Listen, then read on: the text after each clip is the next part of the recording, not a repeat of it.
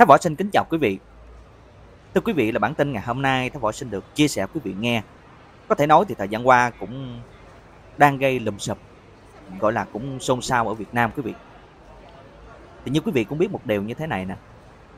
Khi mà chúng ta từ nước ngoài mình đi về Việt Nam đó, ngoài cái chuyện mình phải tuân theo cái quy định về hành lý, có những món đồ mình được phép mình mang vào Việt Nam, nhưng mà cũng có những món đồ mình không được phép có những món đồ mình được mang nhưng mà mình chỉ được mang theo một cái à, giới hạn nhất định nào đó thôi.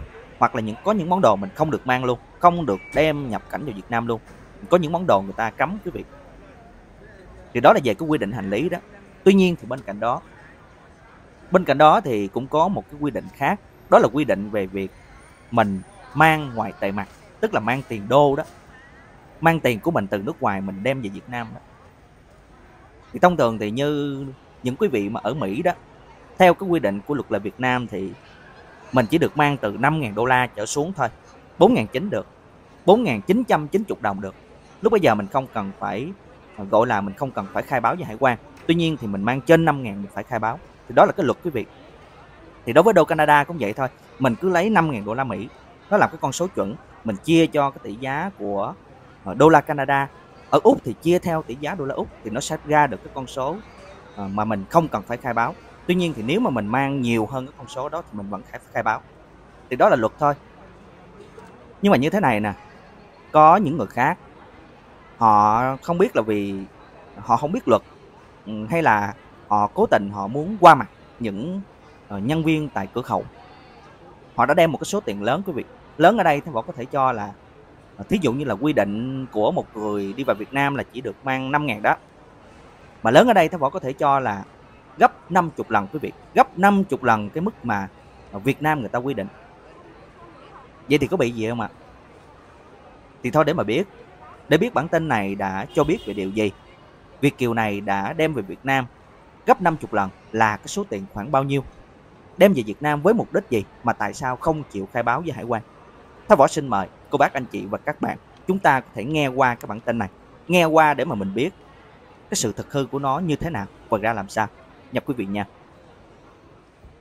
Thưa quý vị, thì bản tin này có tiêu đề là nữ việt kiều vướng lao lý vì sách ba cái vali tiền mặt qua sân bay. Sân bay ở đây là sân bay nội bài, quý vị, ở hà nội đó.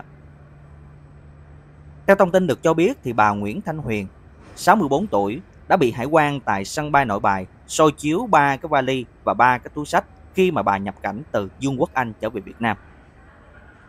Qua soi chiếu thì phát hiện được trong những cái vali này chứa 6,3 tỷ đồng. Tức là 6 tỷ 3 tiền mặt đó quý vị. Được biết thì bà Quyền trú tại quận Tây Hồ đã vừa bị Viện Kiểm soát Nhân dân Hà Nội truy tố về tội vận chuyển trái phép tiền tệ qua biên giới.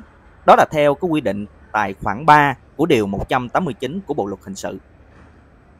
Cáo trạng được xác định tại sân bay quốc tế Nội Bài, bà Huyền đã nhập cảnh trên chuyến bay VN56 lấy hành lý tại băng tải rồi sau đó đi vào cái luồng xanh.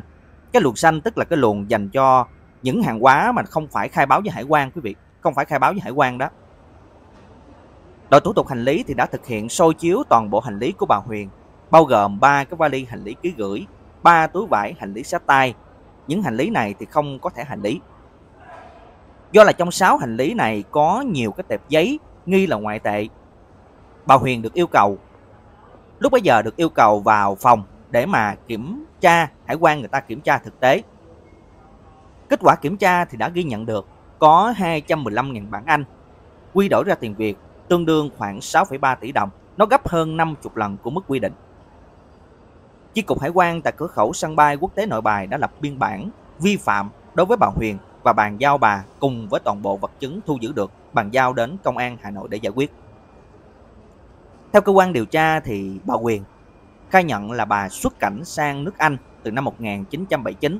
Sau đó thì đến năm 1982 thì bà mới nhập quốc tịch Anh. Từ đó đến nay thì bà Quyền đã nhiều lần nhập cảnh về Việt Nam, nhập cảnh về Việt Nam để thăm gia đình. Cái số tiền này là bà dùng để kinh doanh mà có được. Mục đích bà mang về Việt Nam là để mua nhà và mua hàng hóa để xuất sang London để bán tại siêu thị của mình. Theo xác minh của Bộ Tư pháp cơ quan điều tra đã cho hay bà Quyền hiện nay chưa thâu quốc tịch Việt Nam. Theo Điều 2 Thông tư 15 của năm 2011 được cấp vào ngày 12 tháng 8 của năm 2011 của Ngân hàng Nhà nước Việt Nam. Cá nhân khi mà xuất nhập cảnh qua các cửa khẩu quốc tế của Việt Nam bằng hộ chiếu, nếu mà mang trên 5.000 đô la Mỹ hoặc là những cái loại ngoại tệ khác có giá trị tương đương, thì cá nhân đó, đặc biệt là phải khai báo với hải quan tại cửa khẩu. Như vậy thì quý vị đã được nghe qua bản tin này. Thì như Thái Võ đã nói đó, gấp 50 lần quý vị, tức là 6,3 tỷ đồng.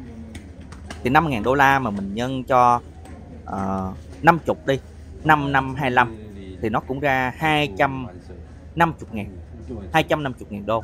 Thì cái này là 215 ngàn bảng Anh.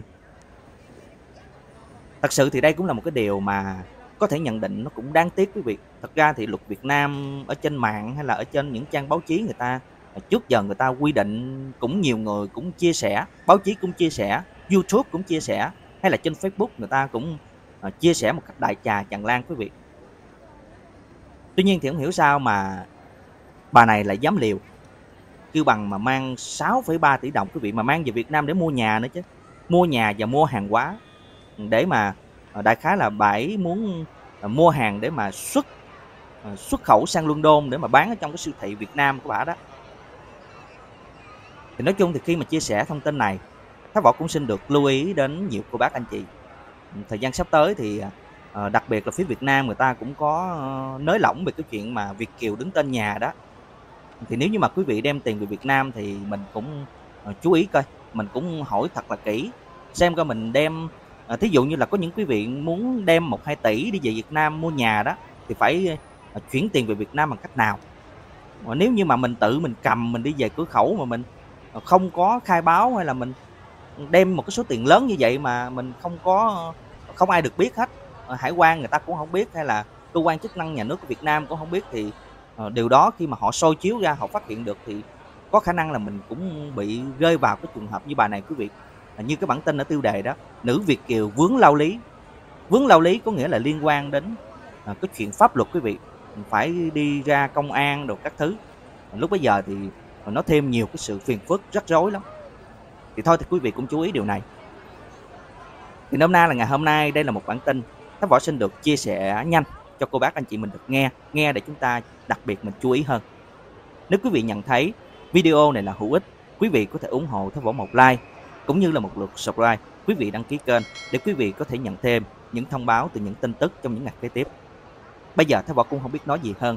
Xin cảm ơn và xin cảm tạ tất cả quý vị đã luôn quan tâm, đã luôn yêu mến, đã luôn ủng hộ và lắng nghe hết tin tức này. Thái Võ xin chào tạm biệt, hẹn gặp lại tất cả bà con, cô bác, anh chị mình ở những bản tin kế tiếp.